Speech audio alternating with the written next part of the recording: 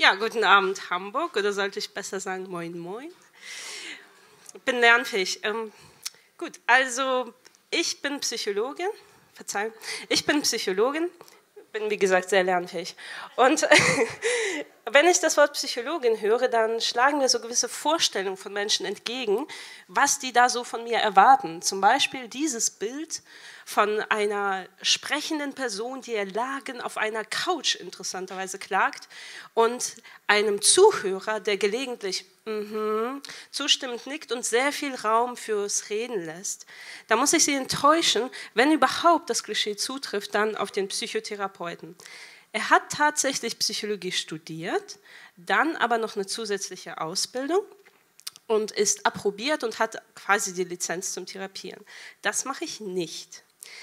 Vielleicht denken Sie an Psychopharmaka, Depressionen, so die ganzen schönen Muntermacher. Ja? Das mache ich auch nicht. Das ist der Psychiater. Ich habe keinen Rezeptblock. Manchmal hätte ich gern einen. Und ähm, er hat Medizin studiert, dann sich entschieden, ich konzentriere mich auf den Kopf und hat dann die Facharztausbildung beendet und am Ende hat er eben die Möglichkeit, Medikation einzusetzen, also anders ausgedrückt Drogen zu verschreiben. Das darf ich auch nicht. Ähm, eine Psychologin sieht zum Beispiel so aus wie ich. Ich repräsentiere das, finde ich sehr, sehr gut. Ne? Die Jeans habe ich schon mal, gut. Und Tatsache habe ich Psychologie studiert, sogar zusätzlich noch promoviert, aber im Grunde darf ich beraten. Anders ausgedrückt, mein Werkzeug ist die Sprache. Ich merke, Sie sind nicht überzeugt, aber ich muss Ihnen verraten, die hat eine Menge zu bieten. Wir wissen, dass Sprache motiviert. Es kommt nicht immer darauf an, wer vorträgt. Manchmal kommt es auch darauf an, was vorgetragen wird. Hier mal ein bisschen Wissenschaft, das ist ja ein Science Slam. Also, Sprache motiviert, das wussten schon Tamir und Mitchell. Und im Grunde haben sie gesehen, wenn wir Menschen die Möglichkeit geben zu reden, zum Beispiel hier, dann werden im Gehirn Motivationszentren aktiv, sehen Sie hier mit Pfeilen dargestellt. Und besonders gut ist das, wenn die ihre eigene Meinung sagen dürfen. Und am besten, am allermotivierendsten ist es, wenn sie über ihre Gefühle sprechen dürfen. Das werde ich heute ganz exzessiv nutzen. Ja? Nichts motiviert so sehr wie ein Science Slam. Man kann allen Frust mal rauslassen. Aber Sprache hat noch mehr drauf, sie simuliert Verhalten. Kurzer Exkurs in die Neuroanatomie. Sie haben hier den Motorkortex, also den Bereich des Gehirns, der für Ihre Bewegung zuständig ist. Und das ist nicht willkürlich. Benachbarte Hirnbereiche repräsentieren benachbarte Körperteile. Also zum Beispiel Ihr Fuß wird neben Ihrem Unterschenkel und Oberschenkel dargestellt. Ja, wie so ein kleines Männchen, der Homunculus. Das wurde schon oft gezeigt, zum Beispiel hier eine Studie von Haug und Kollegen. Ja, Sie sehen, dass Mundbewegung neben Hand, neben Fußbewegung dargestellt ist. Alles alter Käse. Aber das Spannende ist jetzt hier, die Teilnehmer liegen völlig bewegungslos da und Sie sehen Aktivität in ähnlichen Hirnbereichen, ähnlich systematisch dargestellt. Und jetzt kommt's, die haben einfach nur gelesen.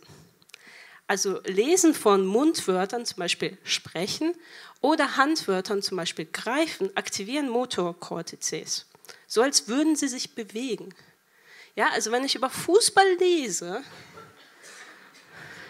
dann ist es eigentlich so, als wäre ich ein Fußballprofi, aber eine Kleinigkeit, meine Muskeln trainiere ich dabei nicht.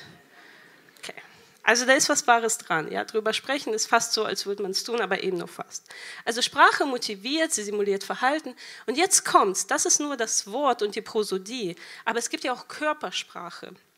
Und die ist besonders in meinem Einsatzgebiet wichtig. Hat eigentlich irgendjemand eine Idee, wo ich Arbeit gefunden habe? Reinrufen? Industrie. Ja, das wünschte ich. Da wäre mein Gehalt anders. Ich gebe Ihnen einen kleinen Tipp. Da ist Körpersprache sehr wichtig. Bundestag. Ja, nee. Ähm, ich arbeite an Schulen. Also ich bin Schulpsychologin Das sind so typische Kunden, Klienten von uns. Und falls Sie es nicht mitgekriegt haben, die Schule hat sich extrem verändert. So sah es natürlich bei mir aus, zu meiner Schulzeit. Mittlerweile gibt es aber auch gelegentlich äh, solche Fälle von Schulklassen. Ich betone mal ein paar Aspekte, damit Sie wissen, wo Sie am besten hingucken. Also zum Beispiel hier die Papierknäule und das Flugzeug. Wenn das nicht reicht, gibt es immer noch Bücher. Und wenn das nicht reicht, nutzen wir die Fäuste. Andere neue Methoden, die es zu meiner Zeit noch nicht gab. Und ganz schlimm, die Superwaffe schlechthin, das Handy. Und dem gegenüber steht jetzt die Sprache. Und das ist nur, was wir sehen. Wir hören nämlich das hier die ganze Zeit. 45 Minuten, kurze Trinkpause, Klopause und weiter geht's. Also Sie haben so einen Eindruck. Und jetzt ist die Frage, wie, wie helfe ich da? Ja, was mache ich genau? Wie wende ich Forschung an in dem Fall? Was trage ich bei? Ich nutze die Sprache auch, um wissenschaftliche Konzepte an den Mann zu bringen. Oder auch die Frau in dem Beispiel. Zum Beispiel das Reframing. Ja, Erklärung Psychologie immer sehr, sehr kompliziert. Ne? Einem in der Umdeutung geschulten Menschen, mir, ist es durch Kommunikation möglich, reden, Szenen in einem anderen Blickwinkel bzw. Rahmen erscheinen zu lassen, sodass er es den Beteiligten erleichtert, mit der Situation umzugehen.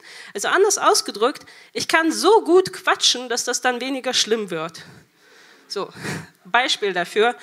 Typischer Gedanke, Verzeihung, so ein Scheiß, immer trifft es mich, aber jetzt kommt die Psychologin und sagt, ja, jetzt können Sie mal testen, wie gut Ihre Reinigung ist.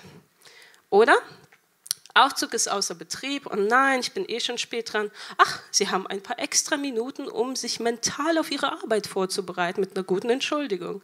Also Sie merken, sehr künstlich generierte Erklärung. Oder wie parkt denn der? Achten Sie bitte, die Fahrerseite ist in beiden Fällen gut zugänglich. Also ich kann direkt losfahren. Ja, so. Und jetzt hier die Krönung. Äh, da bin ich auch mit meinem Reden am Ende. Fällt mir auch nichts mehr ein. Okay, ein anderes sehr, sehr wichtiges Konzept meiner täglichen Arbeit ist die Ressourcenorientierung. Methoden, Vorgehensweisen und Haltung, die die persönlichen wie auch zwischenmenschlichen Potenziale stärken oder Kraftquellen von Individuen in den Vordergrund stellen. Kein Wort verstanden. Anders ausgedrückt, jedes Verhalten hat auch was Positives, wenn man lang genug sucht und reden kann. Okay, wenden wir mal beides an, ja, einen anderen Rahmen bieten, der den ganzen, der sozusagen einen entspannten Blickwinkel ermöglichen soll und die Stärken dieser hochmotivierten Leistungsschüler.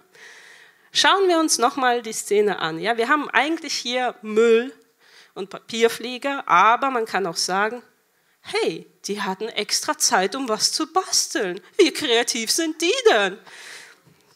Nächstes Beispiel, ja, der nimmt das Buch als Waffe, erster Blickwinkel. Wow, der weiß, welches Buch er heute mitbringen muss. Achten Sie bitte auf die anderen Kinder. Die haben gar keine oder die falschen Bücher mit. Und jetzt kommt die Krönung. Ja, allen Klischees. Kevin, Justin, Pascal holt die Fäuste raus. Ja, muss auch mal sein. Ja, das ist hier ein Science Slam. Das fällt schon schwer, ne? Aber sie haben ja mich, also ich mache es ja täglich. Also er weiß, wer die Autorität im Raum ist und er zeigt ganz deutlich durch seine Körpersprache, dass ihm etwas missfällt. Sowas habe ich dann, sowas haue ich dann raus, ja.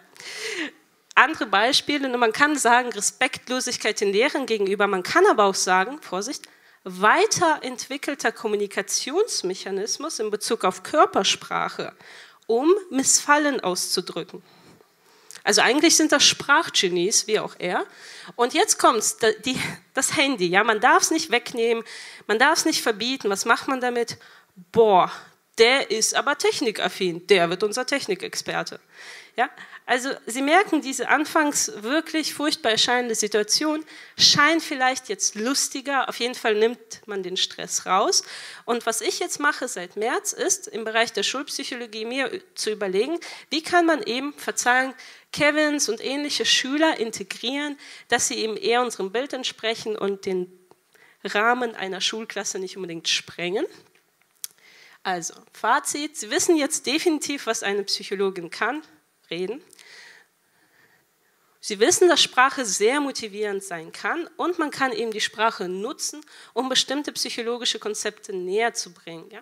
Zum Beispiel das Reframing, es kann immer noch schlimmer kommen. Also der Rahmen wäre dann wissenschaftlich, danke, wissenschaftlich ausgedrückt, hätte auch mein Kopf sein können. Ja, das wäre der andere Rahmen. Und abschließend, hoffentlich haben Sie jetzt eine neue Sicht der Dinge und noch einen schönen Restabend. Danke, Hamburg.